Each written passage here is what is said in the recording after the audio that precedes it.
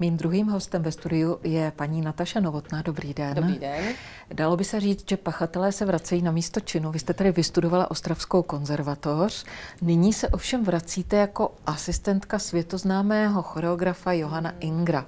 Jaké to je vlastně eh, dělat tu produkční složku a jaká, jaké jsou vlastně povinnosti eh, asistentky takového choreografa? Hmm. Tak já v podstatě ještě taky sama tančím a mimo to jsem tady v posledních deset letech eh, zakládala svůj vlastní soubor, takže nejsem jako, že bych byla jenom ten tanečník, který najednou... Jako, je v té opačné... Přesně se dostává do té role, takže já už jsem docela dlouhou dobu na té druhé straně, ať už je to z produkční části, nebo ať je to jako na tanečním sále, nebo ať se to týká fotek nebo PR takže ta zkušenost už tam nějaká je.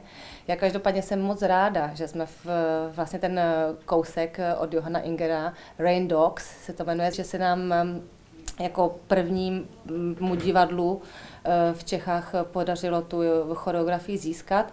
Taky možná trochu proto, nebo určitě proto, my jsme mm, dávní kolegové, my jsme spolu tančili v Netherlands Dance Theatre u Jiřího Kiliána.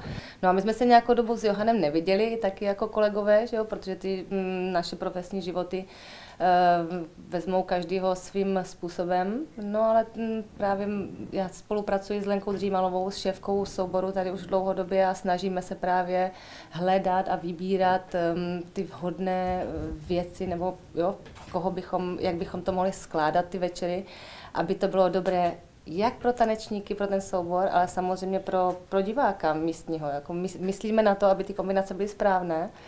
Takže v tom přivést sem Johana mm, je určitě eh, pro nás takový jakoby další kruček zase k tomu, eh, že zvedáme mm, nějakým způsobem kvalitu toho souboru. Já musím říct, že opravdu teďka máme výborné tanečníky, že soubor je složen teďka bezvadně, co se týká energie a toho, jak se jim chce pracovat a jak jsou motivovaní. Takže určitě je teďka vhodný čas právě dovést eh, zase jako jim něco nového, a Rain Dog se nám zdál jako bezvadný kousek a speciálně s tou muzikou Toma Vejce. Mm. Vy jste vlastně v kostýmech použili eh, věc, které se říká eh, crossdressing, jestli jsem byla správně informována, a to znamená, že muži a ženy si vymění své obvyklé způsoby oblékání. Mm. Ženy jako muži, muži jako ženy. Proč jste to tak udělali a eh, mm. co to je za, za fenomen?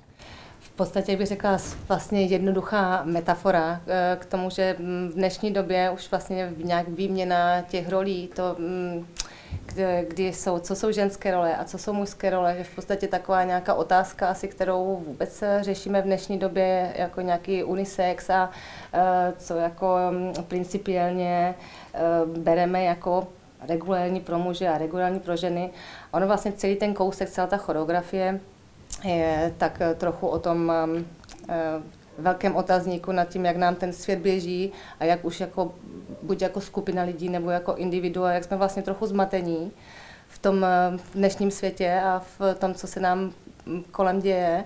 Takže vlastně nějaké vyrovnání těch pozic, jo? Vlastně, jak říkám, nějaká metafora k tomu, že v podstatě je to vlastně asi je, uh, trochu jedno. Co mě zajímá, možná spoustu uh, našich divaček, jako baletka, která vypadá tak hezky jako vy, jakou musí držet životosprávu? A já můžu odpovědět jenom tak, že jsme každý individuální osobnost s, s individuálními potřebami a s individuálním metabolismem.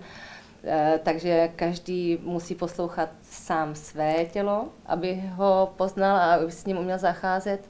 A já vás asi hrozně zklamu, protože já mám po tatínkovi eh, rychlý metabolismus, mm, takže já v podstatě, pokud bych se měla nějak hlídat, co se týká jídla, tak eh, bych v podstatě asi padla bez energie, mm-hmm. takže já naopak já potřebuji jako dodávat svému tělu pořádně a často. Je to tak vlastně celý váš profesní život eh, s baletem, to bylo vždycky těch 6 hodin, kdy už od malé holčičky jste mm-hmm. trénovala a vydávala energii? Tak měla bych jí začít eh, konzervatoří, kde dejme tomu ten první krok k nějaké v profesionalitě, tak ano, tak 6 hodin je minimum Minimum. A potom, že v tom hodně produktivním věku, když je tanečník mezi těmi, já nevím, 18, 27 lety, tak je to takový jakoby fyzický vrchol, tak tam je to jenom dobře.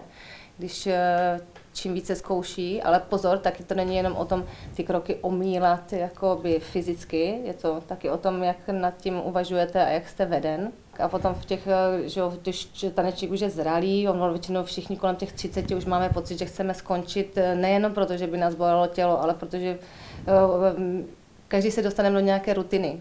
Ten tanečník jakože si dává tu otázku, budu tohle dělat celý život, jo, jako začne se uvědomovat vlastně, že je to únavné, takže pak většinou kolem té třicítky je taková ta, jako tanečník má takovou jako vlnu a po té vlně mu je další vlna, kdy mm, vlastně zjistí, jak moc tu práci miluje a jak, mm. jak vlastně už toho tolik ví, že to může využít potom zase tu zkušenost a vědomost dál. Takže říkám, ten starší tanečník už zase nemusí zkoušet tolik hodin. Děkuji vám My za návštěvu u nás ve studiu. Těšíme se. Mojí, eh, mým hostem byla Nataša Novotná.